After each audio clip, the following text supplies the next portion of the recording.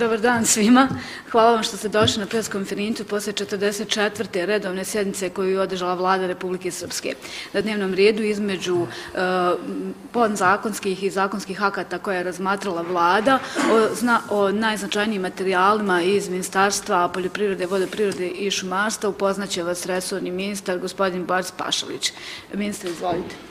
Zahvaljujem se. Dakle, mi smo danas na sjednici vlade imali dvije tačke iz oblasti poljoprivredne. Jedna informacija o zasnivanju novog proizvodnog ciklusa, dakle o jesenjoj sjetvi, to je redovna informacija koju mi u ovo vrijeme prezentujemo vladi, a druga informacija o stanju i proizvodnji i plasmanu junećeg mesa u Republici Srpskoj. Pa ću ja veoma kratko o jednoj i drugoj, a onda ću vam biti na raspolaganju kad su u vezi vaših pitanja.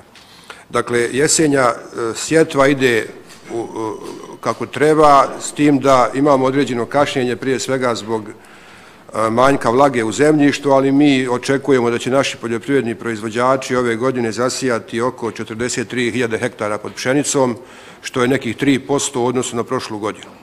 A kad gledamo ostala strna žita i uljanu repicu, ukupna, dakle, ukupne površine pod ozimim e, vrstama će biti oko 69.000 hektara, kada je u pitanju, kada su pitanju troškovi sjetve, nešto je povećana cijena sjemena za neki desetak posto pšenice, ali cijene ostali repromaterijala su negdje na nivou prošlogodišnji, tako da će prosječni troškovi sjetve jednog hektara pšenice biti oko 1220 maraka i to je nešto za neki 5-6% više nego prošle godine. Tako da, osim ovog kašnjenja, do sad je oko 50% tih površina zasijano, zavisno od kvaliteta zemljišta, od toga da li je zemljište sačuvalo vlagu, da li ima pjeska i tako dalje, ali mi očekujemo da bi nakon ovih padavina i u narednih desetak, 15 dana sjetva bila uspješno okončana. Dakle, toliko za e, toliko u vezi jesenje sjetve. Kad je u pitanju problem viškova junećeg mjesa u Republici Srpskoj, mi smo dosta govorili unazad nekoliko mjeseci o tom problemu. Naprosto, proizvodnja junećeg mesa u Republici Srpskoj raste, Ako vam kažem da je 2016. godine bilo utovljeno u Republici Srpskoj 17.500 grla, a u 19. 31.000, dakle u samo četiri godine taj broj je gotovo uduplan.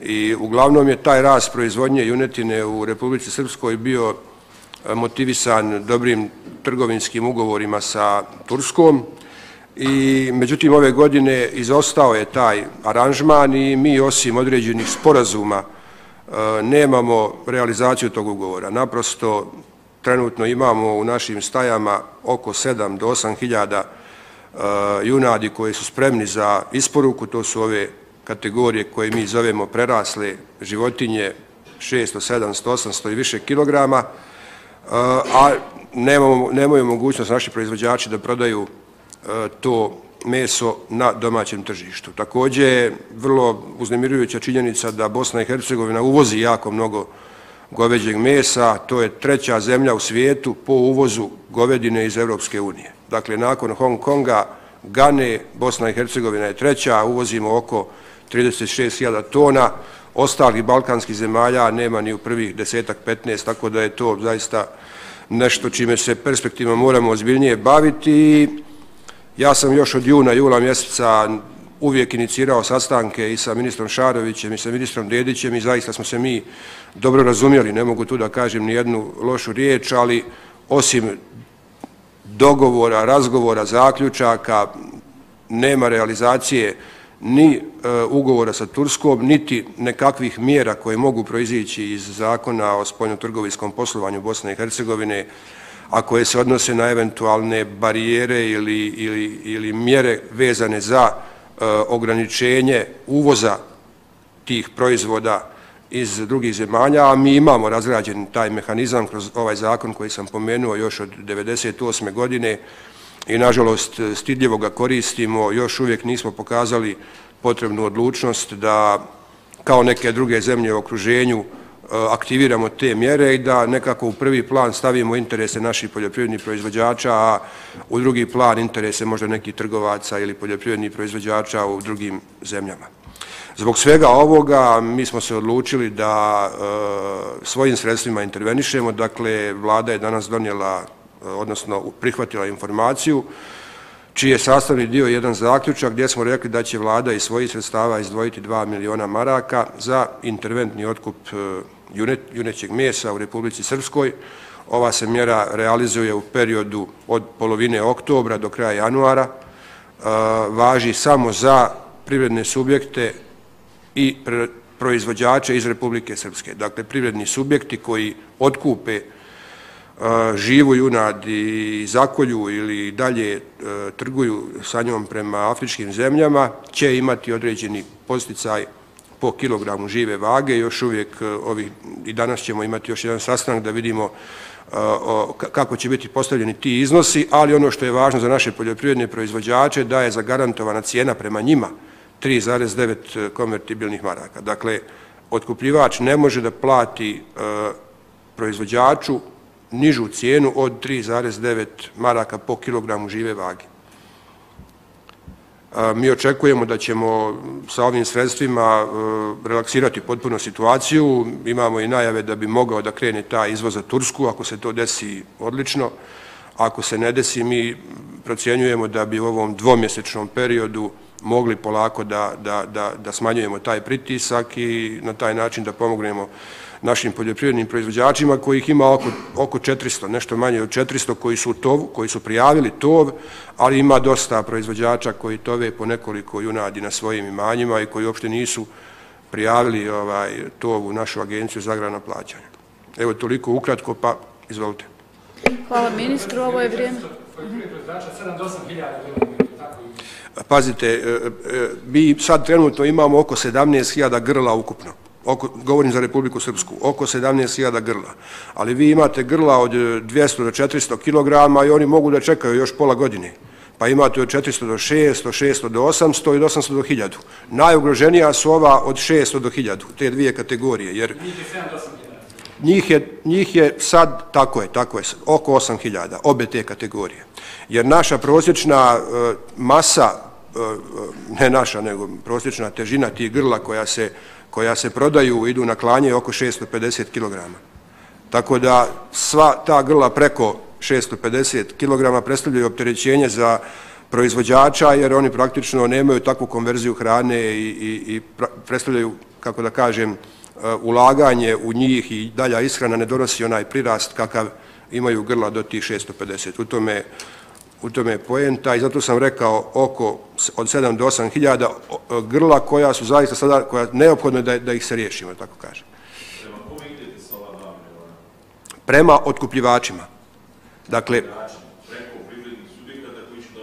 Da, da, pazite, mi nemamo, nažalost, puno mesoprerađivača. Ako mesoprerađivač, firma koja kolje junad, se odluči da uđe u tu mjeru, oni kupe od proizvođača bika, prilože pasoš, prilože otkupni blok, fakturu da su platili i mi njima po kilogramu žive vage plaćamo, na primjer, 50 feninga. Tom otkupljivaču, to je, to je, to je klaonici. Znači, ne plaćamo proizvođaču, ali mu garantujemo cijenu od 3,9. To je bolja cijena nego što je sad na tržištu. Na tržištu je 3,6, 7. Tako će biti realizovana mjera. Mi ćemo naravno nakon usvajanja ove informacije pristupiti izmeni pravilnika o posticajima i vi ćete u stvari vidjeti kroz taj član kako je mjera koncipirana, ali, ali mehanizam je vrlo jednostavan. Svako onaj koji otkupi i preradi to meso dobit će od Ministarstva poljoprivrede, odnosno vlade, 50 feninga za zaklano grlo ili 30 feninga za izvezeno. Još uvijek kalkulišemo oko tih iznosa, znaćemo i danas, otprilike su to te vrijednosti. Kraju izgradnje sistema na sada odvodnjavanje, koji ste danas kajta ranicu ocrnjalo, ovo kada će biti nastavljeni radovi, koliko je površine planirano da se nadvodnjava u ovom dijelu Srpske i koliko se poljoprivrednih eh, površina nadvodnjava u Srpskoj, kako su mladi za Pa dakle, mi smo dosta novca uložili u zadnje vrijeme kada, je upita, kada su pitanje sistemi za navodnjavanje, jer sve naše procjene i analize govore da ćemo mi perspektivno imati sve više problema sa sušom, iako je ova godina bila dosta zahvalna. Mi smo uradili u zadnjih par godina sisteme za navodnjavanje, recimo u Trebinju 2000 hektara završavamo to do kraja ove godine ili ćemo nešto ući u narednu godinu zavisno od uslova za izvođenje tih građevinskih radova. Završili smo u Novom selu kod Bijeljine, u Pelagićevu, u, u, u Bratuncu, trenutno radimo Ljubinje, radimo, kako ste vi rekli, Crnjelovo 500 hektara, a projektujemo sisteme za navodnjavanje u Drakseniću, u Batkoviću, pored Crnjelova, još 500 hektara i u Skelanima. Tako da ima tu dosta aktivnosti. Mi smo prošle godine imali situaciju da je čak pšenica navodnjavana u ovo doba, jer je isto bila suva jesen, tako da procjenjujemo da neće moći da se bilo ko bavi ozbiljnijom poljoprivrednom proizvodnjom, bez obzira da li se radi o intenzivnim e, voćarskim, povrtarskim kulturama, gdje je navodnjavanje apsolutno neophodno, nego i ratarskom proizvodnjom, tako da u tom smislu ulažemo značajna sredstva kako iz tih projektnih aktivnosti, tako iz redovnog agrarnog budžeta, s tim da veće sisteme plaćamo iz projekata, a te manje individualne sisteme iz naših redovnih poziticaja i mi želimo da u narednom periodu, narednih 4 do 5 godina, izgradimo sisteme na nekih 5-6 hiljada hektara. Za sad smo samo u zadnjih 5-6 godina uradili oko 3 hiljada hektara. To naravno nije dovoljno i radit ćemo na tome i dalje. Ima li još pitanje? Gospodin ministar, rekli ste da ste razgovarali sa gospodinom Šarovićem, jeste djelovično odgovorili na njegovom ministarstvu da recimo u jedne prirodne gdje zarade uvozna mjesta. U čemu je zapravo problem da ste mu objašnjavali da domaći proizvodjači imaju problema s tim gdje se previše mjesta u vezi iz inostranstva odnosno Pa naravno, ministar Šarović je potpuno svjestan toga i on se trudi sa svoje strane da e, olakša situaciju koliko je moguće. Dakle, Ministarstvo spoljne trgovine ne može samo da donese takvu mjeru. Neophodno je da tu mjeru donese vijeće ministara. Dakle, Ministarstvo može da predloži mjeru na intervenciju da li poljoprivrednih proizvođača i da se dokaže u stvari e, narušavanje tržišta, ali konačnu odluku o eventualnom uvođenju dodatnih taksi za koje opterećuju taj neki proizvod koji je ciljan proizvod u ovom trenutku je to goveđe meso, e, odluku dakle donosi vijeće ministara. Da li imate informaciju da je takva mjera predložena stavljena ministra Šarovića? Još nemamo takvu informaciju. Ja sam više puta e, inicirao i slao ja inicijativu e, prema ministru Šaroviću. Koliko znam, to je uradio i ministar Dedić, ali ja nemam sad još uvijek potvrdu da je ta inicijativa otišla ka vijeću ministara. Imate li još pitanje?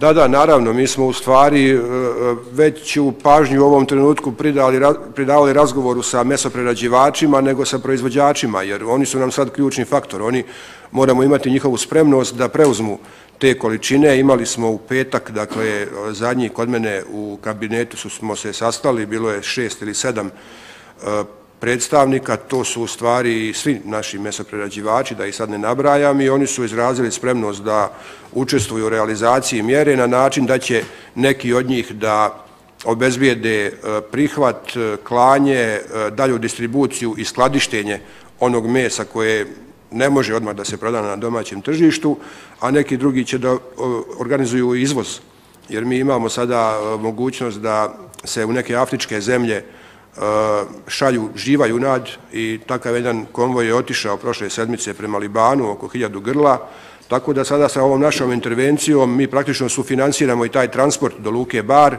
odakle oni idu dalje prema Africi i očekujemo da ćemo s jedne strane jedan broj grla da eh, isporučimo kao živa grla u te afričke zemlje, a ovaj drugi da se praktično zbrine u klaonicama u Republici Srpskoj.